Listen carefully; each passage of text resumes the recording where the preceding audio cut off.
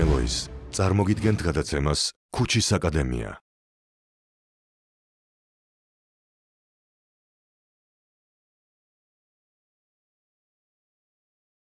ჩემი აქ ყოფნის მიზანია წარმოგიდგინოთ ეს ჩემი სტატია, რომელიც დავწერე ციგნისთვის. ასე ქვია ამ ციგს ინგლისურ ენაზე გამოვიდა Georgia's European Ways, ანუ საქართველოს ევროპული გზები. ეს წინი გამოსცა ევრო ნატო ინტეგრაციის სამინისტრომ და წარადგინეს კიდეც ბრუსელში, მეორე წარდგენა იყო რომში, რომში მეც ვიყავი და საკმაოდ საკმაოდ სიმპათია დაიმსახურა ამ წიგმა. მე ვარ ერთ-ერთი თანაავტორი ამ დაახლოებით 10 სტატია, 10 10 12 სტატია ამ წიგში. ერთ-ერთი ავტორი მე ვარ. ჩემ სტატიას ქვია პრობლემური მაშასადამე. Therefore, მაშასადამე პრობლემური მაშასადამე და საქართველოს ევროპული ორიენტაცია, ევროპული ორიენტაციის საკითხი. ეს მაშასადამე გახსოვთ არა? პრეზიდენტ პრემიერ-მინისტრი ჟურა ჟვანიას სიტყვებიდან იყო I'm Georgian therefore I'm European. მე ვარ ქართველი მაშასა და მე ვარ ევროპელი. ეს რიტორიკული ეფექტი ამ მაშასა და მესი ძალიან ძლავრი იყო, მაგრამ ეხლა ჩვენ დავფიქრეთ რა არის ამ რიტორიკის უკანა. ეს ნახტომი ლოგიკური, რითი შეიძლება შევავსოთ? რა არის ევროპა და რატო არის რატო ვარ მაშასა და მე ევროპელი, არა? ჩვენ ნახოთ რისკენ ვისწრაფი. გააზრებული მაქვს ეს რატო ვარ ევროპელი თუ არა? მე ვფიქრობ, ხანდახან არა გვაქვს გააზრებული, ისე ვისწრაფვით. ამაში შეიძლება მარტო სისუსტე კი არ არის, სიძლიერეც არის აი მისტრაფების, იმიტომ რომ რაღაც მოდუს ვივენდი, რაღაცა ცხოვრების როგორ თქვა, ეგზისტენციალური რაღაც ხმა არის, რომ მისტრაფებული იყო და არც გინდა ამ ხმის ზედმეტი რაციონალიზაცია, ისაც იცი რომ იქეთ აღარ. მაგრამ მოდით აი მოახდინოთ რაციონალიზაცია ამ ხმის და ვიფიქროთ რა არის ევროპა, რატო ვართ იქეთკენ მისტრაფებული? რა ალტერნატივა ალტერნატივა თუ არსებობს საერთოდ და რამ გამოიწვია საქართველოს ესეთი ეგზისტენციალური მე ვფიქრობ არჩევანი?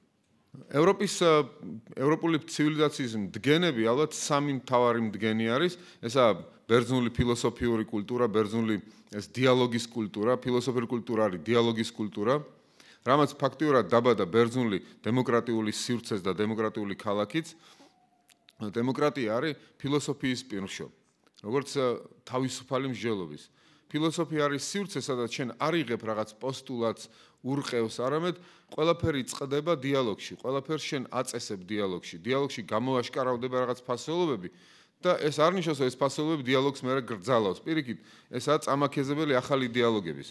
ანუ ფილოსოფიურმა კულტურამ მე დავარქონდი ამას დიალოგის ლოგოსის კულტურამ დაბადა დემოკრატიული ქალაქიც. ანუ ესაა ერთ-ერთი მდგენი დასავლური ცივილიზაციის. ნუ რა განასხვავებს ორტეგაი გასეტი რო ლაპარაკობს ანტიკურ ანტიკურობაში დაუშვით ქალაქი სპარსული ქალაქი და ბერძნული ქალაქი. ბერძნული ქალაქი არის აგორა, დისკუსია. სპარსული ყაიდის ქალაქი არის სადაც რაც ერთი დესპოტი წყვეტს რაღაცას და იქ დისკუსია არ არის. ფაქტობრივად ანტიკურ სამყაროში სპარსული ყაიდის ქალაქი არც არის ქალაქი იმ გაგებით რაც ჩვენ გვესმის, როგორც აგორა და დისკუსია. ეს ერთი ფილოსოფიური ბერძნული კულტურა, დემოკრატიის შემქმნელი ეს ბერძნული კულტურა და დიალოგის გაჩენა, როგორც ფასოლობების დამდგენი. მეორე ასპექტი არის რომაული ეს საკანონმდებლო ტრადიცია, საყოველთაო საკანონმდებლო ტრადიცია.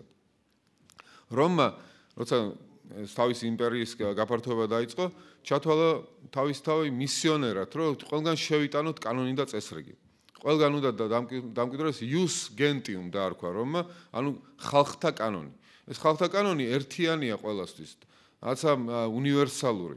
ეს რომაული ეს ius gentium აგებული იყო სტოიკურ იდეაზე, რომ თელ სამყაროში ერთი რაციონალური პრინციპი მოქმედებს ლოგოსი და ამიტომ შეიძლება ამ ლოგოსის მიხედვით მოწესრიგება სამყაროს. ეს ჯერ კიდევ პირველმა გლობალისტმა ელინ ელინისტური კულტურის ჩამოყალიბებელმა რა პირველმა გლობალისტმა ალექსანდრე მაკედონელმა თქვა რომ რაღაცა ერთი აერთიანებს თელ კაცობრიობას. ჩვენ ბერძნული კულტურა არ არის მარტო ჩვენთვის ჩაკეტილი კულტურა. ეს არის მთელი კაცობრიობის მისაწვდომი კულტურა, ამიტომ ალექსანდრეებმა დაარსეს თელ სამყაროში. დაუთ ამის მემკვიდრე იყო რომის და რომის ფიქრობდა, რომ ჩვენ და გავაფართოვოთ რომის ცივილიზაცია, ეს კანონები რომის თელ სოფლიოზე. და ამით ჩვენ მარტო დამპყრობლები კი არა ვართ, ძარცო აწყვეთ. პირიქით მისიონერები ვართ თელი სამყაროსთვის. ეს რომაული საკანონმდებლო ტრადიცია ძალიან მნიშვნელოვანია ევროპისთვის, იმიტომ რომ აქ ჩანს, რომ არც ერთი ადამიანი არ არის კანონზე მაღლა.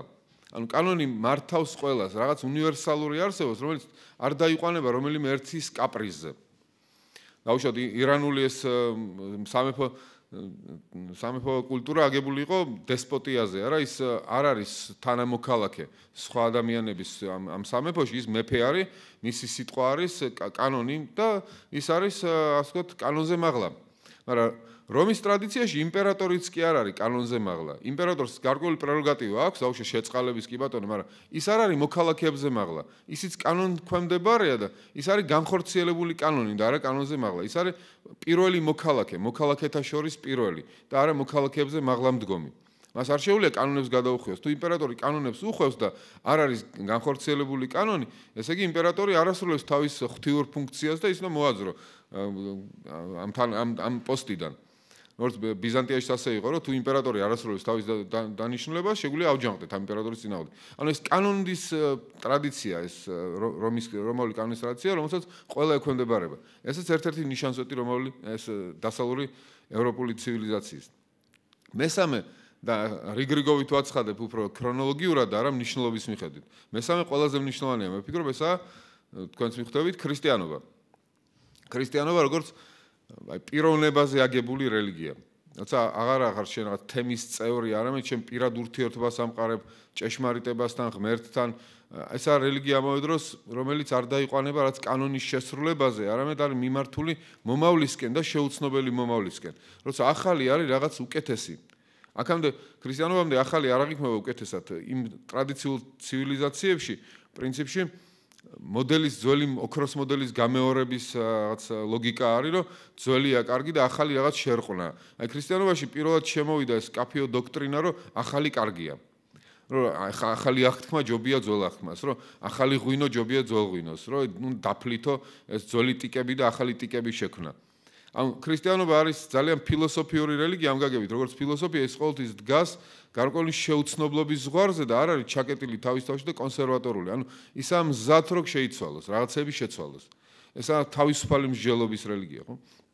ანუ ევროპული ცივილიზაცია დაიმუხტა ქრისტიანობით. ეხლა ეს სამი რაღაცა თქვი და უნდა ვილაპარაკოთ საქართველოს. საქართველოს როგორ მონაწილეობდა ამ ამ ამ პროცესებში, რამდენად ერთიან სივრცეს წარმოადგენდა ევროპასთან? ძნელია რა ილაპარაკო ძალიან შორს ვიყავით ჩვენ ამ ხშირად ამ ევროპული მოვლენებისაგან. და თვითონ ქართველები ზაღიარებდნენ ჩვენ ვართ როგორც იონე საბანიძე ამბობს ყურეს ამას ქვეყნის. ანუ სადაც ქვეყნიერების დასასრულსა ვართ. ცივილიზაცი ცივილიზებული ქვეყნიერების ყურაში ვართ კუთხეში სადღაც მაგრამ თანამოს ცივილიზებული ქვეყნის ან ქრისტიანული ოიკუმენე ესე ზოგადი სივრცე ქრისტიანული მისცა ცივილიზაცია და ჩვენ ამ ცივილიზაციის ნაწილი ვართ თუმცა ძალიან გაშორებული ნაწილი. ანუ ბევრი რაღაცა რაც იქ ხდება ჩვენამდე ვერ აღწევს. თუმცა აღიქვავენ უკვე ქართველები ანტიკურობი გვიან ანტიკურობიდან ქრისტიანობის მიღების მიღებიდან გარკვეულწილად ნაწილად აი ამ დიდი ცივილიზაციის. ეს ნახოთ აი ქრისტიანობამდეც რა თქმა უნდა არის კავშირი ქართველების ბერძნულ ცივილიზაციასთან ანტიკურობაში კოლონიების არსებენ ბერძნები გვიან ანტიკურობაში lingua franca საქართველოსი განათლებული ხალხის არის მაშინდელი სოფლიოს lingua francები ესა არამეული და ბერძნული ეს ცხეთის ბილინგვა გახსოვთ არა არამეული და ბერძნულად წერენ ქართველები. გვიან ანტიკურობაში საქართველოსი სკოლებიც კი იქნება ეს რიტორიკული სკოლები ფაზის რიტორიკული სკოლა გახსოვთ. ამის ცივილიზაციას ქრისტიანობამდე წეზიარა საქართველო? აი ქრისტიანობის მიღებასთან ერთად და წერა წერილობითი კულტურის გაჩენასთან ერთად ქართულებმა დაიწყეს ამაზე ლიტერატურული რეფლექსირება რეფლექსირება თავიანთ ტექსტებში. ეს უნიკალური შემთხვევაა ჩვენ არ გჭირდება რომ რაღაცა მოიგონოთ. ჩვენ გვაქვს ტექსტები შუა ადრეული შუა საუკუნეებიდან, სადაც ჩანს რომ ქართველები ფიქრობენ ვინ ვარ ჩვენ, აი ერთ-ერთი მაგალითი გითხარით, იოანე საბანიძე, ვინ ვარ ჩვენ, რომ ყურეს ამას ქვეყნისა ვცხოვრობ და ასე შემდეგ, მაგრამ ამ ამ ამ ქვეყნის განათლებული ქვეყნის ნაწილი ვარ და სხვა სხვა ადგილებშიც ქართველები ფიქრობენ ვინ ვარ ჩვენ, რა არის ჩვენი ასე ვთქვათ თამასა, რისკენ ვისწრაფვით. აი რომ ნახოთ ჯუანშერის ვახტანგ გორგასლის ცხოვრება იქ ჩანს რომ გორგასალი არის სპარსი რა თქმა უნდა სისხლით და არის ქრისტიანი. და ჩანს ჯუანშერის ამ რიტორიკაში ამ იდეოლოგიაში რომ ახტან გორგასალი სარწმუნოებრივ ერთობას ქრისტიანებთან ბიზანტიელებთან უფრო მაღლა აყენებს ვიდრე სისხლის მიერ ერთობას სპარსელებთან. და ის ბოლო კადრები ასე ვთქვათ, ბოლო პასაჟები მისი ტექსტის არის, როცა სპარსელები თხოვენ მას, რომ გავილაშოთ ბიზანტიას და გორგასალეონე არა, თქვენ მანამდე ჩემზე უნდა გამოილაშქროთ, მაგრამ ჩემ ჩემ თანამორწმუნეებზე არ გავილაშქრებ და მე ყდება კიდეც ამ ომში და უბარებს ქართულს ანდერს. ეხლა რეალურად ესე იყო თუ არ იყო ესე, მთავარია ჯუან შერი რას წერს, არა? რა იყო იდეა? გიყვარდეთ ბერძნები. ანუ ეს იყო მისი ანდერძი. გიყვარდეთ ბერძნები, არა სპარსელები, გიყვარდეთ ბერძნები. ბერძნებში იგულისხმება მთელი ეს ცივილიზაცია. ანუ ქართველები აი ჯუან შერის დროს მე-17 საუკუნე იაზრებენ, რომ საითკენ უნდა ვიყოთ მისტრაფებულები, სად კონდეს სწორება, რაზე კონდეს. და ჩანს ეს რომ ეს სამონასტრო კულტურა ძალიან მნიშვნელოვანია. ქრისტიანული სამონასტრო კულტურა. ქართველები ამ სამონასტრო კულტურით აღიქვამდნენ თავს როგორც ერთი დიდი ქრისტიანული სამყაროს ნაწილად. და არანაკლები ვიდრე სხვები.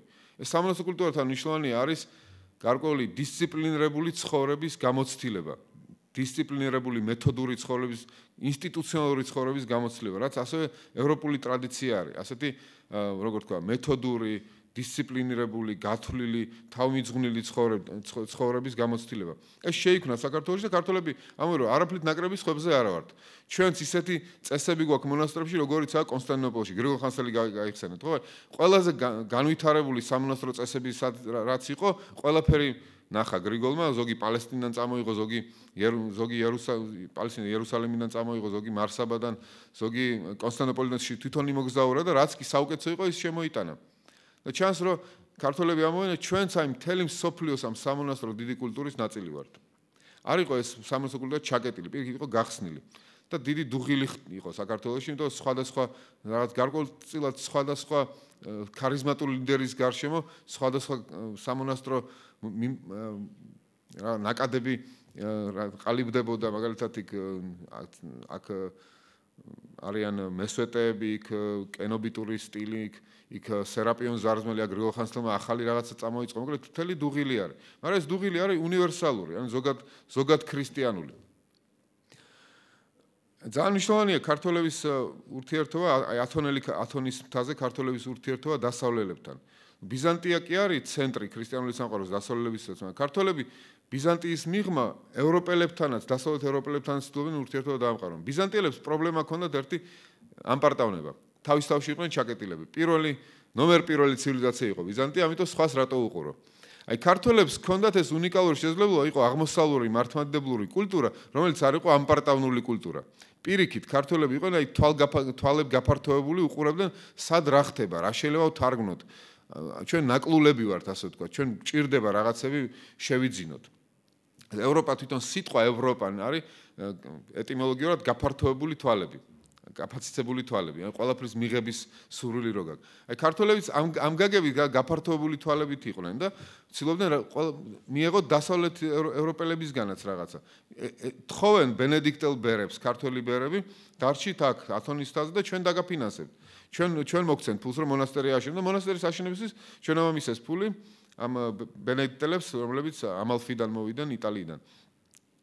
ამ დროს აი არ არის მარტო იქიდან რაღაცა მიიღება ჩვენგანაც ხდება დასავლეთის გამდიდრება თუ ქართველებმა თარგმნეს ფახლაურიდან მე-19 მე-19 საუკუნეში ბუდას ცხოვრების ქრისტიანიზებული ვერსია მე 6 მეათონელმა თარგმნა ეს ათონის მთაზე და ბერძნულად და ბერძნული თარგმანი მე გაიტანეს ბენედიქტელებმა და ევროპაში თარგმნეს ლათინურად. მე ეს ბარლამი და იოთასაფის ცხოვრება, ანუ ბუდას ცხოვრების ქრისტიანული ვერსია გახდა ძალიან პოპულარული საკითხავი დასავლეთ ევროპაში.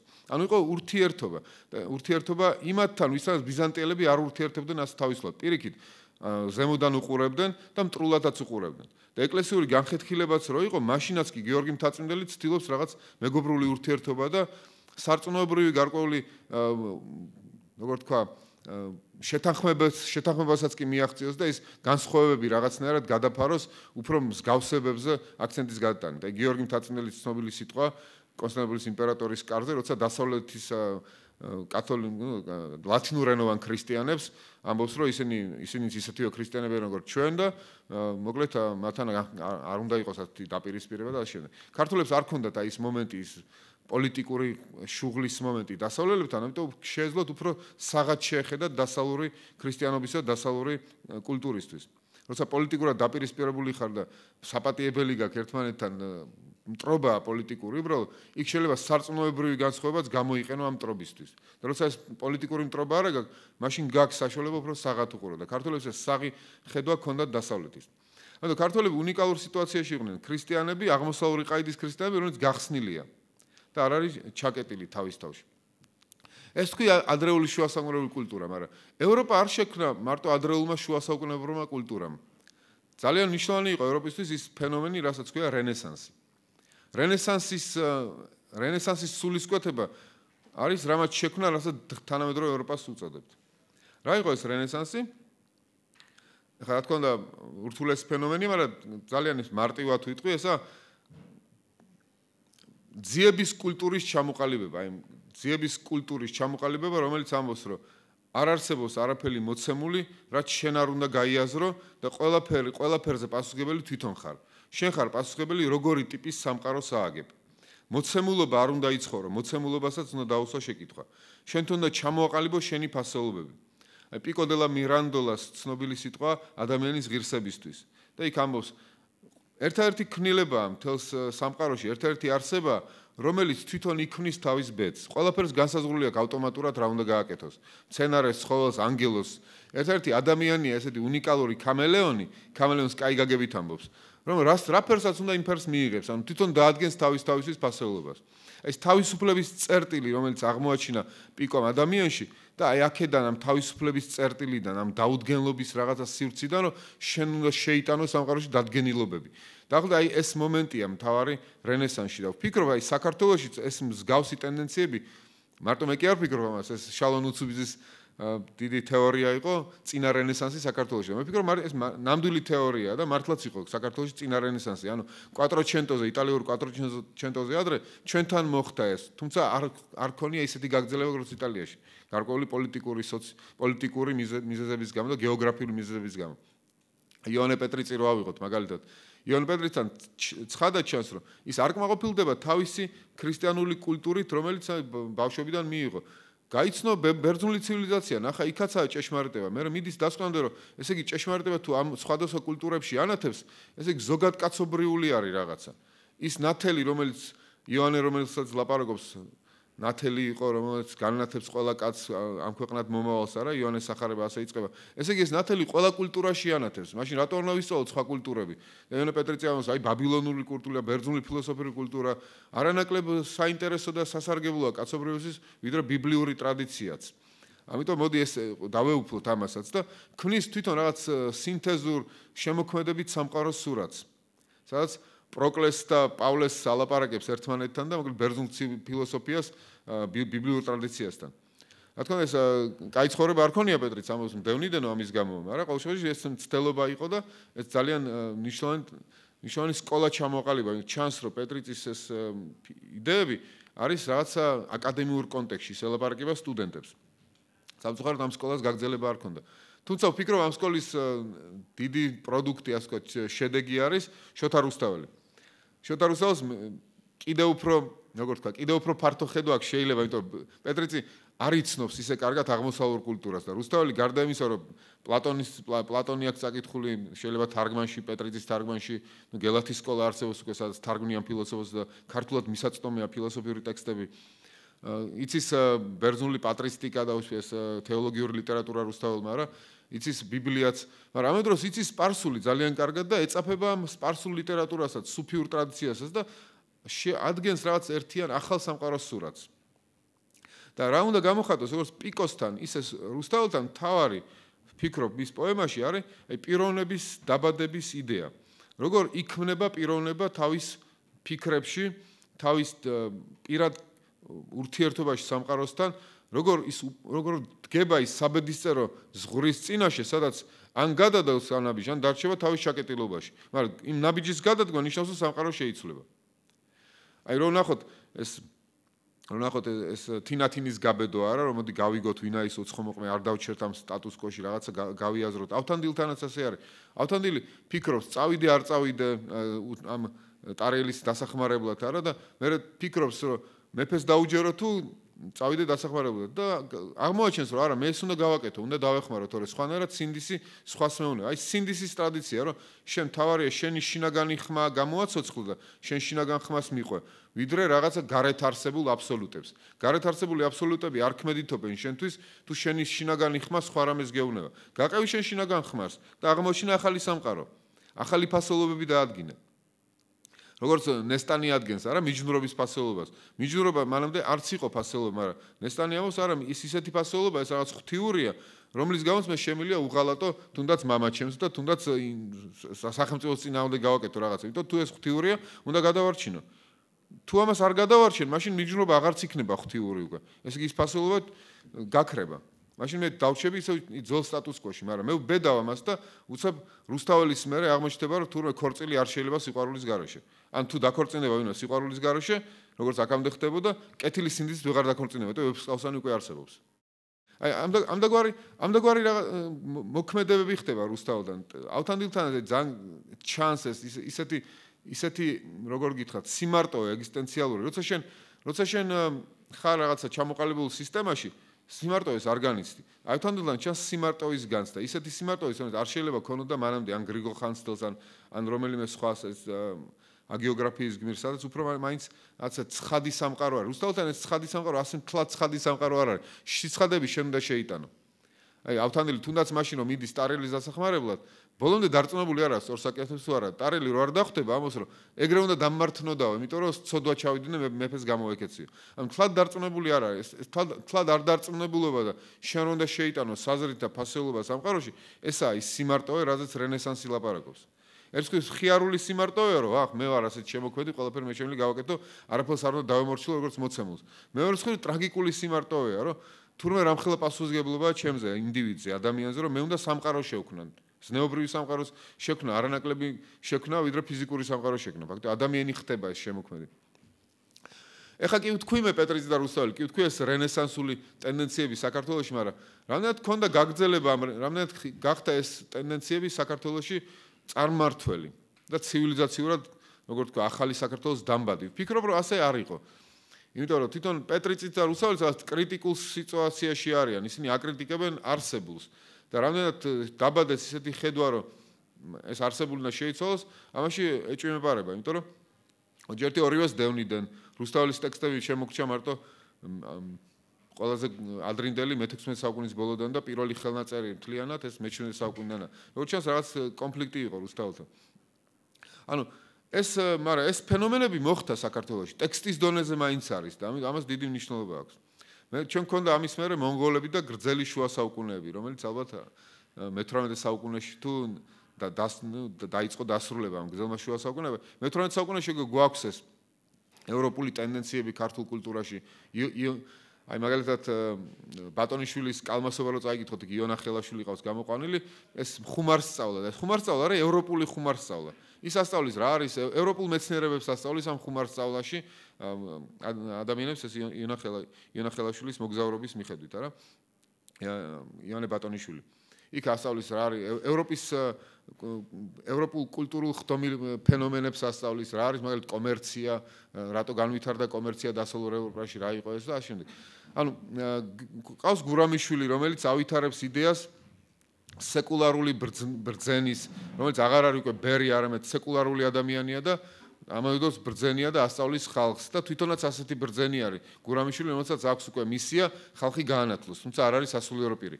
მანამდე ეკლესიაშია ეს განათლების გასაღებები და უკვე გურამიშვილის ადრით უნდა გამოვიდეს საერო სივრცეში ეს განმანათლებლობა და ერისკაცებმაც ითავონ განათლების როლი მოსახ ხალხისთვის ამიტომაც აკეთებს ის ადაპტაციას ადაპტაციას ქრისტიანული ჰიმნების და აკეთებს რაღაც ხალხურ ჰიმნებს, რომ ყოველს მისაწვდომი იყოს.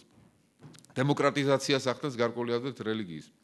ყველაზე მნიშვნელოვანია ამ ჩვენს ევროპეიზაც ევროპულ არჩევანში და უკვე შეგნებულ გააზრებაში რომ ევროპისკენ ვისწრაფი და იქით იქითაა ჩვენი გზა. მანამდე ხა მე რაც ვამბობ, ეს არ იყო რუსთაველი ფიქრობდა ევროინტეგრაციაზე, არანაირად რა. მე მე ვამბობ ტენდენციებს რომელიც რეზონირებენ იმასთან რაც ხდებოდა დასავლეთ ევროპაში და ნუ დასავლეთ ევროპაში უფრო ვიდრე ბიზანტიაზე ამ შემთხვევაში. რეზონირებდნენ და ეს არის შესო კავშირი იყო და ვისტრაფოდით ევროპისკენ მაშინ. უბრალოდ მე რა რა გავდა ამ ორ კულტურა კულტურაში, ევროპულ კულტურაში, ქართულში, რა არის ერთმანეთის მსგავსი. რამ შექმნა ის სიტუაცია, რომ მე-18-19 საუკუნეში ქართულებს არ გაუჭirdათ, რომ უკვე პროგრამულად შეერთებოდნენ ევროპას, პროგრამად დაესახათ ევროპასთან ევროპა ევროპაზე ორიენტაცია. ჩვენ კულტურაში უკვე იყო ეს ფენომენები, ქრისტიანობა, ეს რუსთაველი, ფილოსოფიური კულტურა, ქართველებმა არისტოტელეს ლოგიკური კატეგორია მე-11 საუკუნეში თარგმნეს ეფრემ ცინომ და არსენი ყალთოელმა. ანუ ეს მონაცემები უკვე იყო რის გამო ჩვენ ვისტრაფოდით ევროპაში. ისევ შეგნებული ეს შეგნებულად ეს მოხდა მე-18 საუკუნის ბოლოს მე-19 დასაწყისში. სოლომონ დოდაშვილი არის ემბლემური ფიგურა ალბათ ამისთვის, ვინც კანტის ლოგიკა თარგმნა და კეთილშობილთა სასწავლებელი დაარსა თბილისში. ამის გახსნაზე ცნობილი სიტყვა თქვა რომ ეს ეს ჩვენ ამ ამ სასწავლებლით ვეზიარებით ისე იმ დაკარგულს და არ მარტო დაკარგულს შეიძლება ჩვენ ევროპული კულტურაც კი ევროპულ ცივილიზაციასაც კი ვეზიაროთ. ანუ ის ამბობს რომ ჩვენი დაკარგული უფრო მაინც ნაკლებია ვიდრე ის რაც ეხლა არის, ეხლა უნდა ვეზიაროთ უფრო მეც. გავიკაფოთ გზა აი იმ ცივილიზაციისკენ. რატო არის ცივილიზაცია აუცილებელი მის როგორც კანტთან ისე ამ ევროპულ განმანათლებლობაში რომელს ადეპტიც არის დოდაშვილი აი აქ არის ეს მომენტი რომ შენ ხარ რაღაც დაუდგენლობების წინაშე და შენ ცივილიზაციურად უნდა დაადგინო ცივილიზაციის ბედის. შენ არავის არ ხარ კომფორტულ კომფორტში. შენ ყოველთვის ხარ სირთულის წინაშე და სირთულე უნდა იცხოვრო. და სირთულე სირთულე უნდა გამოხატო შენს ქმედებებში. ამიტომ ცივილიზაცია არის დაუსრულებელი ცივილიზაცია, ევროპული ცივილიზაცია. ეს გარეკანი ამ ციგნის, რომელზეც მე გიყვებოდით, ხო, ეს Georgian's European Way ძალიან ლამაზი ნახატია ზეთ, საინტერესო ნახატი, სიმბოლური, სადაც პიროვნება არის რაღაც დაუსრულებელ შენობასთან. აი ევროპა ესაა დაუსრულებელი შენობა. სადაც ყოველთვის ხარ ამოცანის წინაშე. ევროპელების გაგებით ადამიანიც არ არის მოცემულობა, ადამიანიც ამოცანა არის და ის ცივილიზაცია, რაც ადამიანი აშენებს, ის არ არის მოცემულობა, ის ყოველთვის ამოცანაა. აი დოდაშულთან ეს მომენტი არის. კანტის ლოგიკათ თარგმნა დოდაშულმა. მისი მოწაფე იყო ყველაზე ცნობილი ჩვენთვის და ყველაზე მნიშვნელოვანი ამ ჩემი ლაპარაკისაც ბარათაშვილი, نيكოლოზ ბარათაშვილი. نيكოლოზ ბარათაშვილი ალბათ აი პირველი ასე ვთქვათ, აი თხემით ტერფამდე ევროპელი რო თქვა, შეიძლება ასეთია نيكოლოზ ბარათაშვილი. თავის ტრაგედიას, ტრაგედიის გავლით. მან მან განიცადა სარწმუნოებრივი ტრაგედია როგორც ჩანს და არ რწმენა აქვს დაკარგული. და უკვე თვითონ ხედავს, რომ აი რაღაცა საზრისი უნდა ვიპოვო სამყაროში. საზრისი უნდა ვიპოვო, რომელიც არაა მზამზარულად კულტურაში მოცემული. რელიგიის საზრისაც აღარ მწამს უკვე. იმიტომ რომ ფიქრით კრისპერში რა არის თუ არა ის რომ აღარ წამს სულის უკვდავება, არ იცის არის თუ არა, მაგრამ მაგრამ სად უნდა იყოს საზრისი? რატო არ ვიკლავ თავს? მე თვითონ უნდა დავადგინო ეს. იმ ყორანს უნდა გავექცე, ის ყორანი რა არის? ეს თვალბედითი არა, გახსენებს ბედს რომ ყველაფერი სიკვდილით თავდება. თუ ყველაფერი სიკვდილით თავდება, მე საერთოდ რამეს რამე რა აზრი აქვს? რას რას რატო ცხოვრობ? და ეს მერანი იბადება მაშინ ეს მერანი იბადება როგორც ეს ძიება ევროპული ძიების სული. ეს გაუკვალავში გასვლის გამბედაობა რა. ნუ დავიმარხო ჩემ სამამულში და უგზო უკლოდ იქ იქ სადაც არ ყოფილვარ იქ გაუკაფავში გადავედი. ხო რა კაფეოთ ამოს ამას. დაგზა უვალი შენგან თელილი. ანუ ეს მერანი ყოველთვის არის უვალი გზის მიჯნაზე რომელიც უნდა გათელოს და მე კიდე ახალი უვალობებია ეს სულისკვეთება გამოხატა ბარათაშვილმა. ბევრი სხვა რაღაცებიც აქ იქა, მაგალითად კანტის განიცდის ამ კანტის ლექციების გავლენას სოლონდოდაშვილისგან, კარგად ჩანს მის ლექსებში, მაგალითად სილამაზეს და მშვენიერებას რა პირისპირება. ეს კანტის დაპირისპირება სუბლიმური და ლამაზის. მშვენიერებას სუბლიმურს უწოდებს ბარათაშვილი. ლამას ლამას მშვენიერს. ეს ესეც დოდაშვილის ლექციებიდან აქვს როგორც ჩანს აღებული. მაგრამ ჩანს რომ აი ბარათაშვილმა გააჩინა ეს ახალი დამოკიდებულება სამყაროსთან და ძალიან კარგად გაიგო ეს ილია ჭავჭავაძე. მისი მისი ეს წერილი თეთრ შემოიყვანა ბარათაშვილი მან ქართულ ამ სამწერლო კულტურაში აჩვენებს ამას რომ აი ბარათაშვილში არის ის რაც ვეძებ. ბარათაშვილში არის ზოგადკაცობრიული ძიება. თვითონ ილია ჭავჭავაძე ქრისტიანია, რწმენა არ აქვს დაკარგული. მაგრამ აი ის ტენდენცია ევროპულს ატარებს თავის თავში, რომ ქრისტიანობაც მასთან გააზრებული როგორც შემოქმედებითი რამე. ქრისტიანობა თუ იტყვის რომ მე მოცემულობა ვარ და კულტურული მოცემულობა, ის წყვეთს იყოს ქრისტიანობა. იმიტომ ქრისტიანობა არის ისეთი რამე, რაც ყოველთვის ძიებაში არის. ამიტომ ესეთი შემოქმედებითი ქრისტიანობა ყოველთვის კონფლიქტში მოდის რაღაცასთან, რაც ასაღებს თავს მარადიულად ქრისტიანობაში, შეიძლება მარადიული არ იყოს. ამიტომ ილია ჭავჭავაძესთან და თერგდავლებთან არის გარკვეული კრიტიკული ქრისტიანობა, რაც როგორიც უნდა იყოს ქრისტიანობა. ქრისტიანობა ყოველთვის კრიტიკული უნდა იყოს. კრიტიკული კულტურის მიმართ. არც ერთი კულტურა არ ამოწურავს ქრისტიანობას.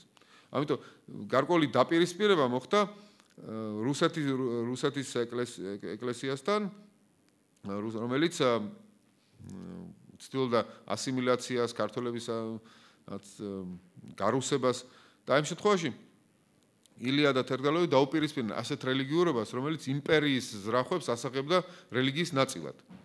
ის კი არ იტყოდა ხა ილია რო შევიდოდა თვითონ პეტერბურგში რომელიმე ეკლესიაში იქ ესენი ქრისტიანები არ არიან.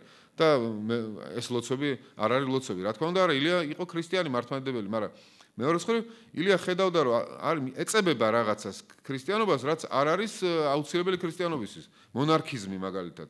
ან ეს იმპერიული იმპერიული მისწრაფებები. ამის გამოცხადება ქრისტიანობა თქო არ არის სწორი. შენ ეს უნდა დაუპირისპირდე უნდა ამას. რაღაცა ლოგოსის შუქით უნდა ეს როგორ თქვა მოაცილო ამას. კრიტიკული აზროვნების შუქს დაუქვემდება რომ შენ თუ იტყვი რომ ეს კულტურული ფენომენი განსაზღვრავს ქრისტიანობას მაშინ ყველა ვინც კრიტიკულად განიხილავს ამ კულტურულ ფენომენს ქრისტიანობის ტერი გამო ავტომატურად. უნდა გაბედო და უნდა გაბედო ესეთი მტრობა ასე ვთქვა. უნდა გაბედო და თქვა რომ მონარქიზმი არ არის აუცილებელი ქრისტიანობისთვის. აი ილიამ და თერგდალოვმა ეს გაბედეს. ამიტომ მონარქიის ნაცვლად ახალი იდეა ჩამოყალიბეს ლიბერალური ქრისტიანობის სადაც მოქალაქეობის პრინციპი გამოიყვანეს წინ სადაც სინდისი არის აგებული უკვე ქრისტიანობა, შენს პირად სინდისი. პატარა ღმერთზე, რომელსაც ჩვენს სინდის უწოდებთ, ხო, ილიამბოს. და უკვე ისეთი მორჩილება კი აღარა, კულტურის მოცემული ფორმების მორჩილება. ასე ვთქვათ, ბავშვური მორჩილება რაღაცა წმინდის, რომელსაც მე ვიღებ არა ჩემი რეფლექსიით და ჩემი საკუთარი, ასე ვთქვათ, რისკით და საკუთარი შეგნებით, არამედ როგორც წმინდა რაღაც წმინდას. რომელსაც აღარ უსვენ შეკითხვას და ინერტულად მიყვები ასე თქვა ბავშვური მორჩილებით როგორც თქვი. აი ილია და თერგალოვი ამბობენ არა ეს აღარ არის ევროპული მიდგომა. ევროპული მიდგომა მარტო ისეთი მორჩილებისა მწამს, საცა გონება უფალია. ანუ ნებისმიერი მორჩილება ჩემი გონების შუქიდან უნდა იყოს გამომდინარე. ანუ ქრისტიანობა და ინდივიდუალური გონების შუქი ილიამ და თერგალოვმა დააკავშირეს ერთმანეთთან. იგივე არის ვაჟებ შევალასთანაც. ვაჟებ შევალასთანაც სულ ამაზეა ლაპარაკი, რომ პიროვნებამ თვითონ დაბადოს თავის ხედვები. პიროვნება მარტო არის. პიროვნება შეიძლება მოვიდეს რადიკალურ დაპირისპირებასთან თემთან. აი ეს ისე მომბა ეს ეს უკვე არის შეგნებული პროექტი ევროპელობის ილიას და თერდავლების ამის ვაჟაც ამის ამის ნაწილი არის და ვფიქრობ აი შექმნეს ილიამ და თერდავლებმა გარკვეული პარადიგმა ეს გარკვეული სტრუქტურა რომლის ნაწილები ჩვენა ვართ ყველანი ახლა აი მე მე 20 საუკუნის დასაწყისშიც ჩვენ რომ შევქმნით პირველი დემოკრატიული რესპუბლიკა, ეს კონსტიტუცია არის სულთან პატენტურად ევროპული კონსტიტუცია დავწერეთ. მერეც რო ხდება გააზრება ქართულების რა ვარ ჩვენ, რა ვართ რა ვართ ევროპელები, ძალიან აი ღრმა სიღმისეული გააზრებები ხდება ამისი. თემურას ხევის თავი გავიხსენოთ, ერთ-ერთ თავში ღდელ ივანეს რო ლაპარაკება. ვინ ვარ ჩვენ, სადა ვართ, ევროპელები ვართ, აზიელები ვართ? დემოკრატიული ერი ვარ ჩვენ თუ არა ვარ დემოკრატიული ერი, უფრო არისტოკრატები ხო არა ვარ ჩვენ და ასე შემდეგ. და მაინც მაინც ეს ევროპული მისწრაფება, იმიტომ რომ თემურას ხევის თავიც ევროპელი არის და ფიქრობს, რომ უნდა დავემსგავსოთ ევროპელებს. შეხედე, აი გერმანელები რო დასახლდებიან მაგალითად იმერეთში დასახლდნენ გერმანელები. რამხელა განსხვავებაა ჩვენსა და მათ შორის. როდის დავემსგავსოთ ჩვენ, როდის ვიქნებით ისეთები როგორც ევროპელები არიან. ამ ეს ეს მისწრაფება ისო ყოველთვის ცოცხლობდა. შეიძლება კომუნისტურ ხანაში რაღაცნაირად მიიჩქმალა ისო კომუნისტურმა იდეოლოგიამ გარკვეული მუხრუჭები შექმნა ამისთვის, მაგრამ თვითონ კომუნისტურ კომუნიზმის ქვეშაც ქართველები მაინც ევროპული კულტურისკენ ესწრაფვიან. ჩვენი პოეტები, თერგდალეულები ამბობენ რომ მეორე საქართველოს გვიყვარს, მაგრამ ჩვენთვის მეორე სამშობლო არის პარიზი. ჩვენი ძმები არიან პავლო იაშვილი წერს ვერლენი ეს მალარმე, არტურ რემბო და უნდათ ეს გადმოიტანონ მათი სულიერი გამოცდილებები თავიანთ თარგმანებში და თავიანთ ლექსებში. ანუ მისწრაფება ისევ იქეთკენ არის. თუნდაც კომუნისტურ ხანაში. იგივე galaktion tabidze მისი გმირები ვინ არიან მისი პოეზიის გმირები ეს ედგარ პო და ბოდლერი და ასე. ანუ ეს ის ისე უფრო ახალი დროისკენ ჰემინგუეის ბაძავენ ჩვენი მწერლები გურამ ჩეულიშვილი. ანუ ევროპა მაინც პარადიგმა რჩება საბჭოთა კავშირის დროსაც. და საბჭოთა იდეოლოგია არ არის ყოვლის მომცველი საქართველოში, იმიტომ რომ რაღაცა არის დატოვებული სივრცე ქართველებისთვის, რომელიც არ არის იდეოლოგიურად საბჭოთა სივრცე. ეს იყო ეროვნული სივრცე, არა, ეროვნული რაღაცა ღირსების განცდა და საკუთარი ისტორიის განცდა, რომელიც არა საბჭოთა ისტორია. ანუ შენ საბჭოთა ისტორიაშთან კი არ უნდა გაიგიო თავი და შენი ღირსება იქ იყო, არა, ყავს იქ საუკუნოვანი ისტორია, რომელთანაც შენ ღირსებას აიგებდა. როცა კონფლიქტში მოდის ეს ორი ერთმანეთთან, ქართველები იკავებენ ამ უძველესი თავისი ღირსების ამ თავისი საუკუნოვანი ტრადიციის ხარეს. 56 წელს მაგალითად ან 1978 წელს. ეს არის სამოქალაქო საზოგადოების სივრცეები რომ ეს ეროვნულ ნიადაგზე აგებული. პრობლემა რა იყო რომ როცა საბჭოთა კავშირი დაიშალა ეს მუხტი რომელიც მანამდე იყო გამათავისუფლებელი მუხტი და რაღაცა თავისუფლებას ქმნიდა ქართველებისთვის თავისუფალ სივრცეს კომუნისტური იდეოლოგიის მიღმა ეს იქცა ახალი იდეოლოგიის ასპექტად. მე ლაპარაკობ აი პირველ ჩვენ გათავისუფლების მერე პირველ ჩვენ პრეზიდენტს და იმ იმ სიტუაციას, როცა რაც ქართლობა იდეოლოგიის ქართლობის იდეოლოგიათ როგორ თქვა ჩამოყალიბების მცდელობა იყო ქართულ სულს ქართული ჩოხა ჩავაცვა და საქართველოს ქართლების ესე იგი რაღაც ეთნოცენტრული ეთნოცენტრული იდეები გაჩნდა, რომ თქოს კომუნისტური იდეოლოგია დამთავრდა, მაგრამ ეხლა უნდა შემოვიდეს ახალი იდეოლოგია, რაც ეროვნულ ეთნოცენტრული იდეოლოგია. ეს ეს სახიფათო არის. იმიტომ რომ ქართული ფიქრობა ილია ჭავჭავაძის და ეს ვაჟობშოალას ეს ტრადიცია არ იყო ასეთი ეთნოცენტრული. ეს უფრო უნივერსალური და უფრო ზოგადკაცობრიულისკენ გახსნილი და სხვა ერებისკენ გახსნილი იყო. ვიდრე ეს მაშინ აი პირველ წლებში იყო. გარკვეული ეს შოვინიზმის ზღვარზე მდგარი ესეთი იდეოლოგია. და აი ამ ამ მომენტში იყო არის მერა მამარდაშვილის ცნობილი კონფლიქტები ამ არსებულ მაშინდელ ხელისუფლებასთან, რომ საქართველოს საქართველოს დიდია, დიდი იდეა საქართველოს, დიდი იდეა, ეროვნული იდეა, მაგრამ არის უფრო დიდი იდეა, ესაა ჭეშმარიტების იდეა. ჭეშმარიტების მსჯელობის ეს ეს ეს ქმნის ადამიანს, ნებისმიერ ეროვნულ იდეასაც შენი დაფიქრება ჭეშმარიტებაზე და შენი თავისუფალი მსჯელობა ქნის. ნებისმიერ ფასეულობის წყარო შენი თავისუფალი მსჯელობაა. ან ეს უპირობო მიდევნა ლოგოსის და სიტყვის. და შენ თუ იტყვი რომ ეს უპირობო მიდევნა ლოგოსის და სიტყვის უნდა განვაპირობო რაღაც ეროვნული იდეალით ან ეროვნული იდეოლოგიით, მაშინ მოსპობ ამ სიტყვას, მოსპობ აი რის რითაც ქრისტიანობას სუნთქავს. შეიძლება მამარდაშვილი ამბობდა რომ მე არა ვარო კონფესიურად მორწმუნეო, მაგრამ კონფესიური გაგებით მორწმუნე, მაგრამ ის მისი აზრით ქრისტიანობა ზუსტად ეს არის, აი ლოგოსის უპიროვნოთ მიყოლა. უპირობოთ მიყოლა. უპიროვნოთ კი აუპირობოთ. პირიქით, ამაში ყალიბდება ზუსტად პიროვნება. ამდენად პიროვნებები ქმნიან სამშობლოს იდეასაც და თუ თუ შენ სამშობლოს იდეა გამოაცხადე რაღაც ისეთად, რაც ხელს უშლის აი თავისუფალ ზრუნებას, ჭეშმარიტებისკენ სწრაფოს და ჭეშმარიტებაზე მეტად დააფასე, მაშინ საერთოდ ეს ეს იდეაც ნიველირდება და ეს იდეაც გაუფასურდება. ამიტომ ყვირილი მერამ მამრდაშვილის წინააღმდეგ როცა მან თქვა რომ სამშობლო დიდი ფასეულობა, ჭეშმარიტება უფრო დიდი ფასეულობა, სრულიად გაუგებარია ამ თვალსაზრისით, არა? ისევ საქართველოს საქართველოს და ევროპას ევროპის ურთიერთობა ჩვენ და გვესმოდეს ეს ევროპის მომენტი არის დაუსრულებელი ცივილიზაცია, მაგრამ თავის თავის დაბადების ამოცანის წინაშე მდგომი ცივილიზაცია. ჩვენ ევროპული ევროპელები თუ ხვდებით კომფორტულ სიტუაციაში არა ვართ. განუწყვეტელ დაძაბულობის სიტუაციაში ვართ. მზად ვართ ამ დაძაბულობისთვის როცა მომხდარ ევროპული ინტეგრაცია გვინდა.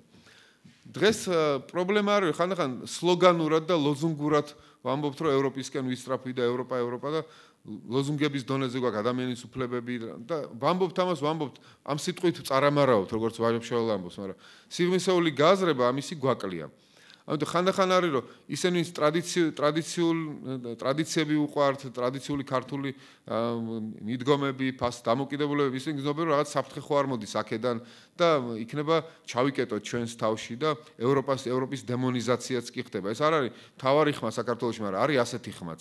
და ამ ჩაკეტვის ერთ-ერთი შეიძლება როგორ თქვა, სივრცე იყოს ტრადიციული, ყველაზე ტრადიციული ფორმა ეკლესია. და იმიტომ ეკლესია არის ძალიან ტრადიციული ლიტურგიულ ტექსტებში, ლოცვის ტექსტებში. მაგრამ ისე ეს არ არის ჯანსაღი დამოკიდებულება და ეკლესია თვითონ არის აი ამ თვითონ არის ამ სუნთქვის ნაწილი. თვითონ არის იმის ნაწილი, რომ უპირობოდ მიყვებოდეს ლოგოს და რაღაცეების ლოგოს სიტყვას, უპირობოდ მიყვებოდეს და რაღაცებს სულიდეს კიდეც. ანუ ეკლესია არ არის ჩაკეტილი სისტემა, ეკლესია არის სუნთქვაში და ისტორიასთან ურთიერთობაში და შენ თუ თქვი რომ ეკლესია არ სხვა არის და ცალკე სივრცეა, სადაც მე შემიძლია სული გადავერჩინო და ისტორია ცალკე სივრცეა, რომელიც თავისი გზით მიდის და ის საერთოდ არ მაინტერესებს, ესეთი ეკლესიაც წდება თავის ქრისტიანულ მისიას, რომელიცაა ისტორიის დამუხტვა ზუსტად ამ მარადიულით. რაც არის ევროპის იდეაც, რომ შენ იდეალური უნდა გამოიყვანო რაღაც ისტორიულ ვითარებაში უნდა გააცხადო. არ გაემიჯნო ისტორიას. ეკლესია რომელიც ისტორიას გაემიჯნება, რაც კონსერვატორული იდეით და იმ იდეით რომ შევინარჩუნო მხოლოდ ის ფიქრობ მოწყდება ქრისტიანულ მისიას და გახდება გარკვეული გნოსტიკური, გნოსტიკოსები იყვნენ.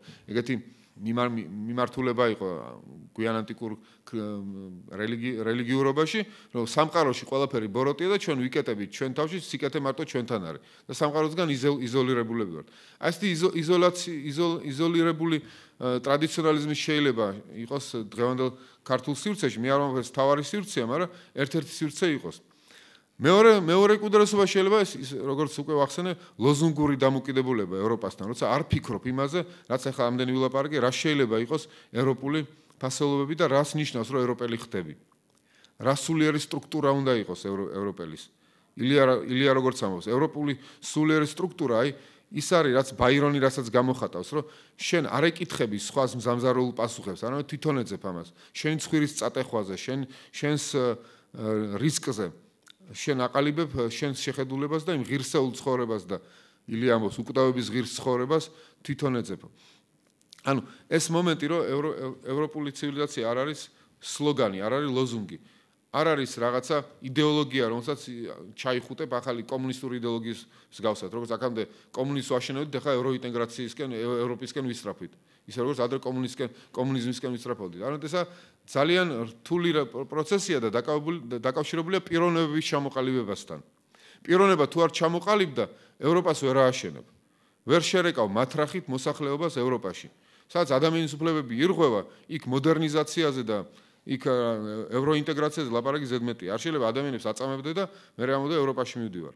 ანუ ეს ეს მომენტია რომ პიროვნების ჩამოყალიბება და ევროპა ევროპაში ევროპისკენ სიარული ერთად უნდა იყოს და არა პიროვნების ხარჯზე ევროპისკენ სიარული რაც ოქსიმორონი გამოვა. იმიტომ ევროპას შექმნეს ზუსტად ჩამოყალიბებულმა პიროვნებებმა. კიდევ შეიძლება მე ერთი ტენდენცია ვთქვა კიდე სნობიზმი. ანუ ისინი ვინც მართლა ესმით სიღრმისეულად ევროპული ცივილიზაცია ბევრს კითხულობენ, მაგრამ არიან სნობები და სხვებს ზემოდან უყურებენ და დაცინვით უყურებენ. ესეც არ არის ილია ჭავჭავაძის ტრადიცია, ეს არის რაც ცუდი ტრადიცია.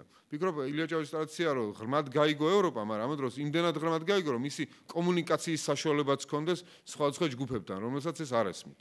ამიტომ განმანათლებლობა სჭირდება ნაკლები სნობიზმი და მეტი როგორ როგორ თქვა, მეტი ქრისტიანული თავდაბლობა. როცა ვამბობთ ევროპისკენ ვისტრაფით, ისე არ უნდა იყოს თითქოს ჩვენ არა არა არა ვართ, ნული ვართ და ევროპისკენ ვისტრაფით. ნული არის სწრაფის არაფრისკენ. ანუ შენ თუ არაფასებ საკუთარ თავში, რაც იმ ღირსეულ რაც მომენტებს შენი ისტორიის, შენი კულტურული მემკვიდრეობის, ფიქრობ რომ ნიჰილიზმია ეს. ნიჰილისტურად კი არ უნდა იყოს მისტრაფებული ევროპის. ევროპისკენ მისტრაფება ნიშნავს რაღაცა, როგორ თქვა, აა მისტრაფებას ორგანულ მისტრაფებას შენ ხედავ რომ ეს ფენომენები ჩემთანაც არის და მე მომწონს ის რაც იქ მოხდა. მაგრამ ფიქრობ ევროპაში რაც მოხდა არის რაღაცა სულიერი ფაქტები, ასე ვთქვათ, სულიერი ხდომილებები, რაც არის შეუქცევადი და აუცილებელი უკვე ცივილიზაციისთვის. ეს იგზნეს ქართულებმა განსაკუთრებით იგზნეს მე-19 საუკუნეში. რაღაცები მოხდა იქ, რაც ურომლისოდაც უკვე შეუძლებელია. ანუ სინდისის ემანსიპაცია, პიროვნული სინდისის ემანსიპაცია, როცა გათავისუფლება. როცა შენ ამბობ, რომ რაც არ უნდა რაც არ უნდა ტრადიცია იყოს, თუ ჩემი სინდისი მას არ ეთანხმება, მე უნდა დავიკავო სინდისის მხარე. აი ეს მომენტი, რაც ლუთერთან გამოჩნდა, დეკარტ დეკარტ დეკარტესთან და დიდ ევროპულ აზროვნებაში, შენ დამოუკიდებელი უნდა იყო და შენი სინდისი არის ასე ასეთი მნიშვნელოვანი, ასეთი აბსოლუტურად მნიშვნელოვანია. რომ შენ ვერ ვერ მოიჭრი სინდის როგორც თმას და ჩაეწერები ოქროს ტრადიციაში ისე. მაშინ ევროპა არ დაიბადება, ევროპა დაიბადება ზუსტად მაშინ, როცა უპირობოდ მიყევი სინდის. თუნდაც ცხვირი წაიტეხე, თუნდაც ამის გამო მოკლეს და ასე შემდეგ. ეს ეს ეს მომენტი ევროპაში იდეა რომ რელიგია უნდა გამიჯნო სამოქალაქო სივრცისგან სეკულარიზმი, იმიტომ რომ უამრავი ბოროტება მოხდა ევროპაში სარწმუნოების სახელით და აი ეს განცდა შეიძლება რომელიც არსებობდა ყოველთვის ლატენტურად ქრისტიანულ ცივილიზაციაში რომ კეისარს კეისრის უნდა მიაგო და ღმერთს ღმერთის და ეს ერთი და იგივე არ არის აი ეს გამოხატა ყველაზე მკაფიოდ ევროპულმა ცივილიზაციამ როცა უკვე განმანათლებელები წერენ რომ რელიგია იმდენად ფაქიზი და პირადი სივრცეა რომ იქ არ შეიძლება სახელმწიფო შეტოპოს თავისი ჩექმებით ასე ვთქვათ. აი ჯონ ლოკის რელიგიურ ტოლერაციაზე რო წაიკითხო ეს მისი ცნობილი ეს სიტყვა. ამიტომ ეს გარკვეული რელიგიური სინდისის თავისუფლება, რელიგიური სინდისის თავისუფლება, ზოგადად სინდისის თავისუფლება, ეს ფიქრობ რუმინელსაც აერთიანებს იმ ნორვეგიელთან. აი მე მე უზოგადეს პარადიგმაში. თუ თუ რუმინელი ევროპელია, რა თქმა უნდა, თუ რუმინელს უნდა რომ ევროპელი იყოს. მე მე ევროპელობა არ არის მოცემულობა, ევროპელობა არის მუდმივი არჩევანი რომ იყო ევროპელი. თუ არ თუ არ გინ თუ არ გინდა ასეთი იყო, ისე ინერტული იქნება და მიყვები რაღაცას. მე ვაი კლასიკური ლიბერალური ტრადიცია რა არის, რომ ადამიანი ბედავს თვითონ თვითონ იყოს შემქმნელი თავისი იდეების. და და და ემასთა და სინდისი კონდეს თავისუფალი. კანონის კანონის წინაშე თავი ყოველას თანასწორობა, რომ კანონი ყოველას იცავს, ადამიანის უფლებები, აი ეს ყველაფერი უზოგადესად ქმნის ევროპულ ცივილიზაციას. მე ვფიქრობ მეტანარატივს რაღაც, ევროპულ მეტანარატივს. რომელშიც ყველანი მონაწილეობენ, თუმცა მონაწილეობენ აბსოლუტურად სხვადასხვანაირად. არავინ არ თხოვს ახლა სამხრეთ იტალიელს დაემსგავსოს ნორვეგიელს ან პირიქით. და ეს ნიუანსები ქმნიან სიმდიდრეს ამ ცივილიზაციის და არავინ არ ეუნება რომ ჰომოგენიზაცია მოხდეს. თუმცა უამრავი პრობლემა აქვს დასავლურ ცივილიზაციას, ევროპულ ცივილიზაციას, მაგრამ ნუ ამაზე შეიძლება ლაპარაკი.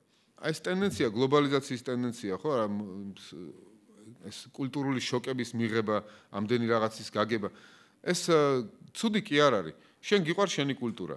და უნდა იფიქრო, ახ რაღაცები მოდის უცხო, სხვანაირი. აი, ამ დროს პირიქით ხდება შენს მიერ დაფიქრება ყველაზე ღრმად შენ საკუთარ კულტურაზე და ფიქრობ, ნეტავი რა არის ამ კულტურაში, ეს რის შენახვაც ნამდვილად მინდა. და რა არის ესეთი, რაც ბალასტია და მიშლის განვითარებაში, რაც პრინციპში შეიძლება არც იყოს ჩემ კულტურაში და შემოიჭრა რაღაცა და ეხა ვაღიარებ, რომ ის თითქოს კულტურულად მნიშვნელოვანია, მაგრამ სინოლოგიაში არც იყოს მნიშვნელოვანი. რაღაცები შეიძლება გადავსინჯო. აი, მაგალითად, თერდალუ მე მე ვფიქრობ აი თერდალეულების მიდგომა იყო ასეთი, ხო, რომ თერდალეულების მიდგომა, რომ ჩვენ ჩვენი კულტურიდან კი არ უნდა უარყოთ. როგორ არა აკაკისთან царსულ ნერგზე ახალ ნამყნის ველოდებით შეხორცებას მით ვიქარებთ აწყონ აღოს დავეძლევით აღტაცებას. აი царსული ნამყნი, царსულ э, ნერგი აუცილებელია ახალი ნამყნისთვის ანუ შენ არ ახარ უძირო კი არ ახარ. შენ ხარ შენი ძირი და შენი ისტორია გაქვს ხო? შენი კულტურა გაქვს და აი როცა ახალი მოდის შენ მაშინ ახალი შუქზე ძველს იაზრებ და შეიძლება რაღაცა ხედავ რომ ძველ ძველი იმ ახალი შუქზე რაღაცა ყველაფერი ამ ძველში კარგი არ იყო. აკაკი წერეთელი ამბობს მაგალითად რად გვინდა ამ ეს გატყლაჭული სადღეძლოები ჩვენ სუფრებზე ხა რომ გამოგველება სადღეძლოები მე სათითაო სადღეძლოებს ვიტყვითო და ადრე ეს ასე არ იყო. ადრე მარტო სამი სადღეძლოება ქართულ სუფრაზე ტრადიციულად აი ძველ ტრადიციაშიო მეფის მამულის აღარ მოსგე მესამე რა იყო?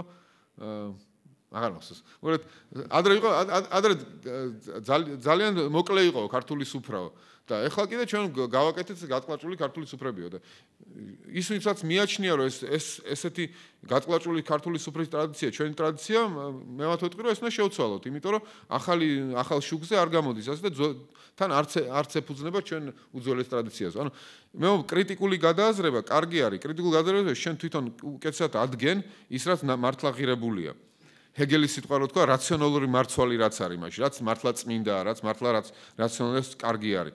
და უამრავი რაღაცა რაც მართლა მოსაცილებელია და ბევრი რამე არ მოვიცილეთ. დაუშვათ არც კალების როლი მაგალითად მე-19 საუკუნეში გამოხატავენ ჩვენი განმანათლებლები რომ კალი პოლიტიკაში უნდა შევიდეს. მანამდე სად იყო კალი პოლიტიკაში? და საიდან მივიღეთ ქართველებმა ეს იდეა? ნუ თავრამფეგი ყავდა მაგრამ ნუ ეს ერთეული გამონაკლისია ხო აი თამარ მეფის მაგალითიც გამოიყენეს ქართულმა ხო აი ჩვენ თამარი თუ იყო მეფე რატომ არ უნდა შევიდნენ ქალები პოლიტიკაში? რატომ მარტო ოჯახური ფუნქცია? გამოუჩნდებოდნენ მათ მოწინააღმდეგეები მაგრამ ახალი როგორ თქვა ახალი პროცესების შუქზე უკვე ქალიც უნდა შევიდეს სამოქალაქო სარბიელზე.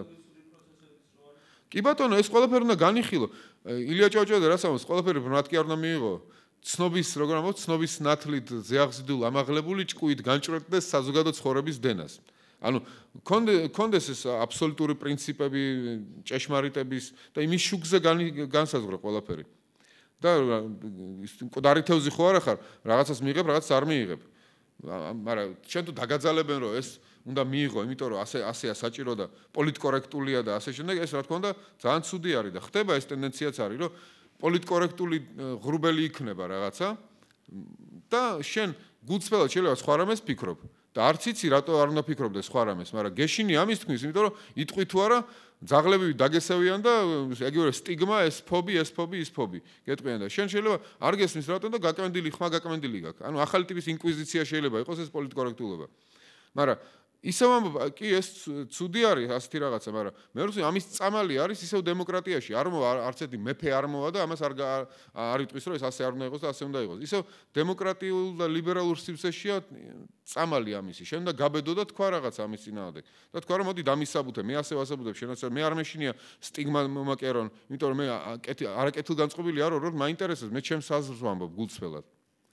ხო გულწრფელი ადამიანი ის მართალი ადამიანი ის კი არ არის ვინც სიმართლეს ამბობსო ილიას სიტყვით მართალი ადამიანი ისა ვინც გულწრფელად ამბობს რაც წამსრო სიმართლე არისო და პოლიტკორექტულმა ინკვიზიციამ შეიძლება ხელი შეუშალოს ამ გულწრფელობას რაც დამარღვეველია ადამიანისთვის ადამიანის სიკიკისთვის მაგრამ ისევ ამის წამალი ისევ დემოკრატიაშია ისევ დემოკრატიულ და თავისუფალ აზროვნებაში და არა რამე მეფის მოსვლაში და რაღაცა დოგმებში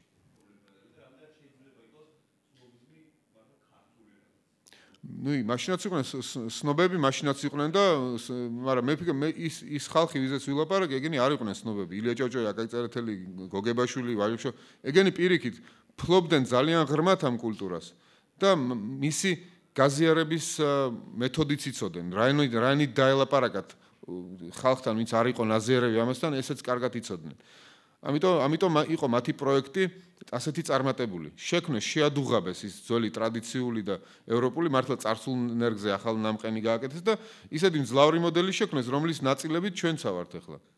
და როცა პირიქით სნობიზმი არის ალექსის და თოქვილი ამოს ეს რამეს, რომ არისტოკრატია შეიქმნა იმისთვის, არისტოკრატიის იდეა რა არის? არისტოკრატიის ერთ-ერთი შემადგენელი არის, რომ იყოს მედროშე პლებსის, ანუ პლებსი აზიაროს თავის თავის სიმაღლეს. მაგრამ როდესაც არისტოკრატია ამას არაკეთებსო, ის თავისივე დანიშნულებას წდებაო და თვითონაც იხრწნებაო. ანუ არისტოკრატია იხრწნება, როცა ის სნობური ხდება. მე ვფიქრობ, სნობებიც აი ესეთები არიან, რომლებიც კი თითქოს იციან, მაგრამ თუ გაზიარება არ შეგიძლია, ესე იგი ძალიან კარგად არიცი. და თუ და თუ შენ სნობური დამოკიდებულება, ზემოდან მაყურებლის დამოკიდებულება, ესე ნიშნავს, რომ შენ შენ კულტურის მიმართ ნიჰილისტი ხარ. და ნიჰილიზმიც არის მანკიერი დამოკიდებულება. როგორ შეიძლება ნიჰილისტი ნიჰილისტი იყო, არ ვიცი, გიორგი მთაწმინდელის მიმართან, რუსთაველის მიმართ და ამხელა შრომის მიმართ, რაც ჩაყარეს ძველმა ქართველებმა. და თუ ნიჰილისტი ხარ, ეს კი არ გესმის უბრალოდ. და ბრიყვი ხარ, არ ვიცი. გეთახები მე მე მე არ მე მე მე ჩვენ ვისტრაფვი და ეს არ ნიშნავს რომ იქ იქა ვართ უკვე და უამრავი რაღაცა არის. ჩვენთან მაინც ვართ ძალიან ტრადიციულები და ჩვენთან არის გარკვეული მოცემულობები, რომელიც ითვლება სიკეთეთ და თუ ამ მოცემულობაში ამ სიკე ამ მოცემულობებში არ ახარ მისადაგებული, აპრიორი აპრიორი რაც ალმაცერა შეიძლება შემოხედონ და ანუ შეიძლება იმდენად ტრადიციულები ვარ და იმდენად ღრმადაა ჩვენში გამჯდარი. ცუდი არ არის ეს. რაღაცა ფასეულობები რომ ამ ფასეულობებისგან ამოგლეჯა საკუთარი თავის, ასე ვთქვათ, გარედან შეხედვა და კრიტიკულად გააზრები, აი ეს გვაკლია. და მე მგონი აი ამ ეს გარისკვაში რომ თუნდაც ამოიგლიჟო თავი და გარედან შეხედო და ძალიან რადიკალური კრიტიკული შეკითხვები დაუსვა საკუთარ თავს. ეს ნიშნავანია მაგრამ ნიშნავანი არ მარტო ქართველების ევროპელებისთვისაც. ჩვენთან კიდევ უფრო იმიტომ რომ ძალიან ტრადიციულები ვართ მაგრამ ნუ ამის წამალი რა არის წამალი არის სკოლები და უნივერსიტეტები მარტო და და ის თავისუფალი მსჯელობის სივრცეები სადაც დისკუსიები არის არ არის ერთიანი აზრი თავსმოხვეული და ტექსტებთან ტექსტებთან ხდება პიროვნებების ურთიერთობა და მე ეს პიროვნებები ერთმანეთს ერთმანეთის წინაშე არჩევენ თვითონ რა თვითონ რა გამოიტანეს ამ ტექსტთან პირადი ურთიერთობისგან. აი ეს განსაკუთრებით ჰუმანიტარულ საგნებშია, ლიტერატურულ საგნებში, ისტორიაში ეს ადამიანი ურთიერთობს მარტო განმარტოებაში ტექსტთან, აყალიბებს თავისას და მე საზოგადო სივრცეში ეს შემოაქვს, საზოგადო სივრცე არის სკოლის გაკვეთილი ან უნივერსიტეტის სემინარი ან ლექცია, სადაც ინტერაქტიული ლექცია და ყალიბდება მე ამ ამის გამო ყალიბდება კლიმატი გარკვეული სულიერი კლიმატი, სადაც ყველა მიცის რომ ვიღაცა თუ რაღაცას მიჩიშნებს ზემოდან დოგმატურად და არ ელოდება ჩემს უკუაზრს და რაღაცა ის უკვე ჰაერს აფუჭებს ასე ვთქვათ. ანუ ცუდი რა ცუდი რაღაც დისონანსი შემოაქვს. ანუ თავისი დოგმატიზმით. ანუ და იყოს ესეთი თავისუფალი სივრცე მსჯელობი, სადაც ყველა ფიქრობს, რომ ნებისმიერი ფასეულობა დგას რაღაცა უსასრულობის წინაშე და ყოველთვის პრობლემ ცხოვრება ყოველთვის პრობლემატურია. ვერ შექმნი ისეთ ერთიან რაღაცა სტრუქტურას, რომელიც თლიანად ცხოვრებას აგიხსნის. ცხოვრება ყოველთვის ახალი და ახალი პრობლემის წინაშე გაყენებს. და ნებისმიერი ტექსტი გაყენებს ახალი და ახალი პრობლემის წინაშე. ამიტომ ვიგობ სასკოლო და საუნივერსიტეტო ჰუმანიტარული განათლების სივრცეები უნდა გაიზარდოს და ეს შექმნის მე საზოგადოებაში რაღაცა ხვედრით წილს, რაღაცა კრიტიკულ მასას იმ ადამიანების, ვინც აღარ დაუშვებს რაღაცა იდეოლოგიზირებულ და ერთპიროვნულ აზროვნებას. როგორც პლატონი მაგალითად, როცა მიხვდა რომ შეუძლებელია ასე მეფის მეგობარი სანამ იყო ტირანი დიონისეს მეგობარი რომ ამ მეგობრობით ჩამოიყალიბებინა სამართლიანი და ფილოსოფიური ქალაქი სირაკუზაში, მაშინ დაბრუნდა ათენში და შექმნა აკადემია, რომელიც იყო ზუსტად ეს თავისუფალი მსჯელობის სივრცე, სადაც გაიზრდებოდნენ მომავალი ათენელი მოქალაქეები. დავთ აქ აქ დავამთავრებ ჩემო პრეზენტაციას. ამებზე მქონდა ლაპარაკი ჩემ სტატიაში, შეიძლება მეტი ვილაპარაკია ნაკლები, მაგრამ დანარჩენი შეიძლება თუ რამე კითხვა გაგიჩნდათ, იმას ვფასხო. მადლობა ყველასთვის.